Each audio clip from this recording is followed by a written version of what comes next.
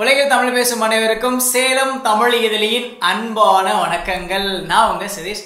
இன்னைக்கு இந்த வீடியோவில் நம்ம யாரை பத்தி பார்க்க போறோம் அப்படின்னா ஒரு பேரு. எல்லாத்துக்குமே தெரிஞ்ச ஒரு பேரு. நம்ம எல்லாருமே சேலம் ஜிஹெச்சுக்கு போயிருப்போம். போன உடனே முன்னாடியே ஒரு பேரு எழுதி போட்டிருப்பாங்க. அரசு மோகன குமாரமங்கலம் மருத்துவமனை அப்படின்ற மாதிரி. இது கவர்மெண்ட் ஹாஸ்பிட்டல் தானே? யார் பேர் இது? இவ்வளோ பெரிய ஆஸ்பத்திரிக்கு யாரோ ஒருத்தவங்களுடைய பேரை வச்சுருக்காங்களே. இந்த மோகன் குமாரமங்கலத்திற்கும் இந்த ஆஸ்பத்திரிக்கும் அப்படி என்ன பெரிய தொடர்பு? அப்படின்னு நமக்கு எல்லாத்துக்குமே ஒரு சந்தேகம் வந்திருக்கும். ஆமாங்க இன்னைக்கு இந்த வீடியோவில் நம்ம யாரை பற்றி பார்க்க போகிறோம் அப்படின்னா மோகன குமாரமங்கலம் அப்படின்ற அப்படின்றவரை பற்றி தான் இந்த வீடியோவில் நம்ம பார்க்க போகிறோம் இவர் எங்க பிறக்கிறாரு அப்படின்னு நீங்க கேட்டீங்கன்னா ஆஹ் இவர் வழக்கமான சேலத்தில் தானே போய் பிறந்திருப்பாரு அப்படின்னு நீங்க நினைக்கலாம். அதான் இல்ல. ஆயிரத்தி தொள்ளாயிரத்தி பதினாறுல இங்கிலாந்துல பிறக்கிறாரு. இவருடைய அப்பா பேர் என்ன அப்படின்னா பரமசிவ சுப்புராயன். அம்மா பேரு சாராபாய். இந்த பேர் எங்கே கேட்ட மாதிரியே இருக்கு. இவர் தாங்க நம்ம சென்னை மாகாணத்தினுடைய முன்னாள் முதலமைச்சர். இவரை பத்தி நம்ம ஒரு வீடியோ போட்டிருக்கோம். இவருடைய மூன்றாவது மகன் தான் மோகன குமார மங்கலம் இவர் எங்க படிக்கிறாரு அப்படின்னு பாத்தீங்கன்னா இவர் இங்கிலாந்தில் தான் படிக்கிறாரு. ஸ்கூலு அங்க தான் படிக்கிறாரு. அதன் பிறகு காலேஜ் எங்க படிக்கிறாரு அப்படின்னு பாத்தீங்கன்னா கிங் ஈஸ்டர்ன் அப்படின்ற ஒரு காலேஜ்ல படிக்கிறாரு. அதன் பிறகு காலேஜ் எங்க படிக்கிறாரு அப்படின்னா கேம்பிரிட்ஜ் யூனிவர்சிட்டியில படிக்கிறாரு. அடேங்கப்பா. அதாவது எப்போ வெள்ளைக்காரன் நம்மளை ஆட்சி பண்ணிக்கிட்டு இருக்கும்போதே அவங்க ஊரில் போய் அவங்களோட யூனிவர்சிட்டியில் இவர் படிச்சுட்டு இருந்திருக்காரு கேம்பிரிட்ஜில் அதுக்கப்புறம் அது மட்டும் இல்லாமல் அந்த கேம்பிரிட்ஜ் யூனிவர்சிட்டியில் அந்த கேம்பிரிட்ஜ் யூனிவர்சிட்டி சொசைட்டின்னு ஒரு அமைப்பு இருக்குது பார்த்தீங்களா அந்த அமைப்பில் இவர் தலைவராகவும் இருந்திருக்காரு. அடேங்கப்பா தலைவா இவர் ரியலி கிரேட் அப்படின்ற மாதிரி தான் அவர் பத்தி நமக்கு தோணுது நினைக்க. அதுக்கப்புறம் என்ன பண்றாரு பாத்தீங்கன்னா அவருக்கு வந்து இந்த பொது உடைமை சித்தாந்தத்தின் மீது மிகப்பெரிய ஒரு ஈடுபாடு வருது. என்னப்பா அது பொது உடைமை? கம்யூனிசத்தின் மீது அவருக்கு மிகப்பெரிய ஒரு ஈடுபாடு வருது. அதன் மீது அந்த கொள்கையின் மீது இவர் ஈர்க்கப்படுகிறார். அவர் வந்து ஒரு பக்காவான கம்யூனிஸ்டா மாத்திக்கிறார்.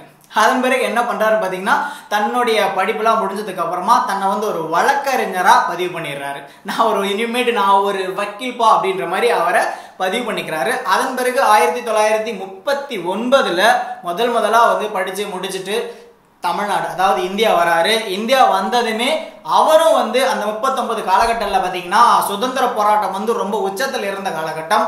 இவர் அந்த சுதந்திர போராட்டத்தில் கலந்துக்கிட்டு நிறைய போராட்டங்களை மேற்கொள்றாரு. அதில் ஒன்று தான் பார்த்தீங்கன்னா ஆயிரத்தி தொள்ளாயிரத்தி நாற்பத்தி ஒன்றில் அரசாங்கத்திற்கு எதிராக வந்து இவர் அந்த துண்டு பிரச்சாரங்கள் இந்த போஸ்டர் பேம்ப்ளெட் இதெல்லாம் அடித்து வெள்ளக்காரன் முகரையிலேயே விட்டு போராட்டங்கள்லாம் பண்ணியிருக்காங்க.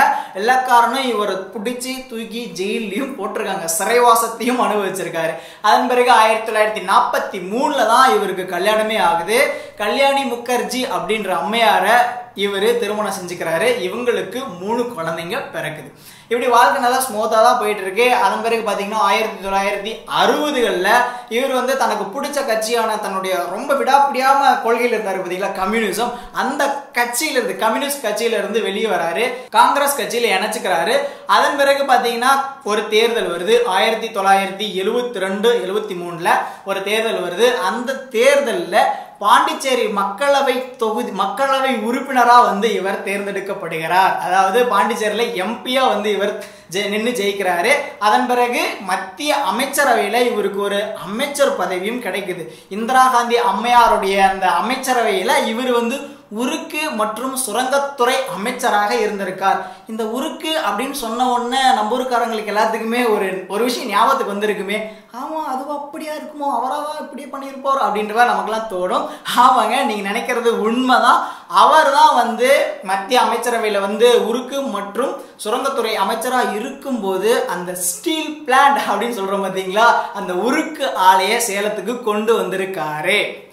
அது மட்டும் இல்லாம அவர் ஆட்சியில் இருக்கும்போது என்ன பண்ணியிருக்காருங்க அப்படின்னா சேலத்தில் வந்து எங்களுக்கு மு- ஒரு மெடிக்கல் காலேஜ் வேணும் மருத்துவ கல்லூரி வேணும் அப்படின்னு முத முதல்ல நாடாளுமன்றத்தில் குரல் கொடுத்தவர் யாருன்னா இவர்தான். அதற்கான முயற்சிகளையும் அவர் மேற்கொண்டிருக்காரு. அதன் பிறகு ஆயிரத்தி தொள்ளாயிரத்தி எழுவத்தி மூணில் மிக துயரமான ஒரு சம்பவம் நடக்குது. என்னன்னு பார்த்தீங்கன்னா அவர் அமைச்சராக இருக்கும்போதே சென்னையிலேருந்து ஃப்ளைட்டில் டெல்லிக்கு போகிறாரு அந்த ஃப்ளைட்டு டெல்லியில் ஏர்போர்ட்டில் இறங்கும் போதே வந்து ஆக்சிடென்ட் ஆயிடுது வெடிச்சு செதறிடுது அதில் ஒரு அறுபத்தஞ்சு பேர் பயணிக்கிறாங்க. அந்த அறு அறுபத்தஞ்சு பேர்த்துல நாற்பத்தஞ்சு பேர் சம்பவ இடத்துலயே உடல் கருகி இறந்து போகிறாங்க அதில் ஒருத்தர் தான் மோகன குமார மங்கலம்.